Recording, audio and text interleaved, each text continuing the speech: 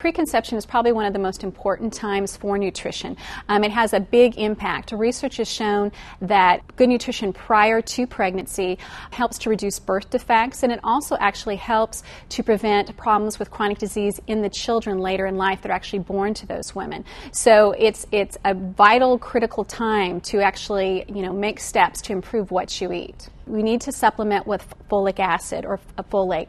And folic acid is a nutrient which helps to reduce neural tube defects, such as spina bifida, which is an open spine at birth.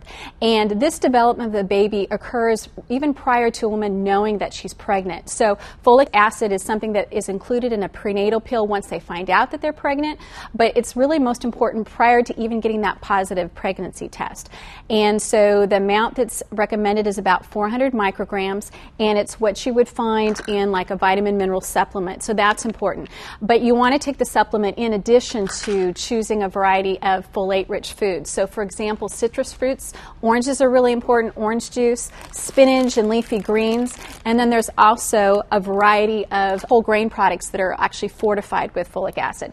So, choosing a healthy diet with a variety of foods, including these, is a good way to um, ensure that they're getting adequate folic acid. Up until about your mid 30s, is when your body's still depositing calcium. So adequate dairy intake, or if you happen to follow a, a vegetarian like food plan, then you know fortified products, soy-based products that are fortified. So during those years, calcium intakes are extremely important and just developing healthy habits because really they've shown teen years into your early 20s you know those habits that you're establishing at that point in life are often the ones you carry throughout your life you know the rest of your life so establishing healthy habits during those years is extremely important eating a variety of foods that's based on plant products fruits and vegetables whole grains um, making sure that you're getting adequate protein intake whether you choose animal products or you know plant-based products for that protein and so those are key for those 20s and early 30 kind of years. Then into your 30s, you pretty much established what your health is. Your body's no longer storing, let's say, nutrients, especially the minerals, and you're trying to make sure that you preserve those nutrients.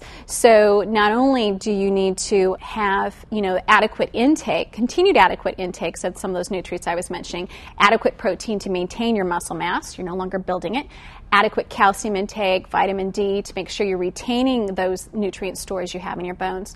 But you also want to be making sure that you're maintaining your weight because you're no longer growing during that period of time, you know, in terms of development. So you you want to maintain a healthy weight. I want to remind women that registered dietitians are really an excellent source of information for personalized nutrition counseling. And Mercy Hospital Folsom eh, as well as Mercy in general has a variety of dietitians functioning in, in, in, different roles, and you know we're there to support them.